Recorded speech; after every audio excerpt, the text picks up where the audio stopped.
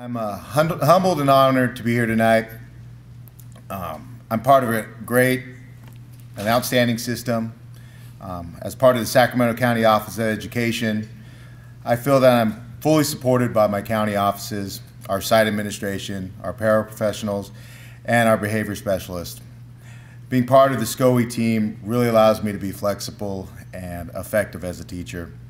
And over the last couple of months during this whole process, we've been asked to reflect on the teaching profession and our role within it. And I've come to two kind of basic conclusions in the way I think about things. Um, the first one, I'm sure everyone here can attest to, is the importance and effectiveness of building positive relationships with our students. I think uh, once they, they trust us and they like us and they feel they can be honest around us, and the more likely they're going to buy into this, uh, all this academic stuff we're trying to sell them.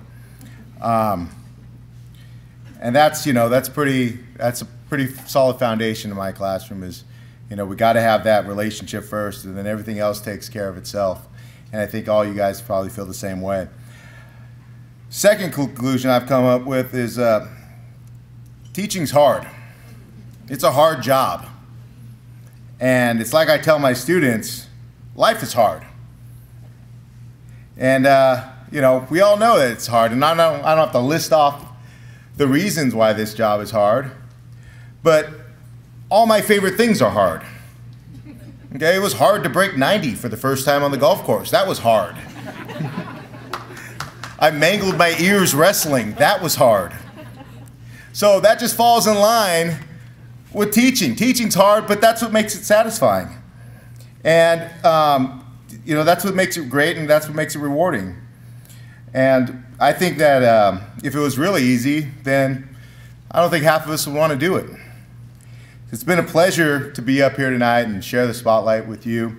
Um, you guys are outstanding educators, and I've, I've le I'm leaving here inspired and motivated by all of you. And uh, I just want to thank you all for this opportunity. Thank you.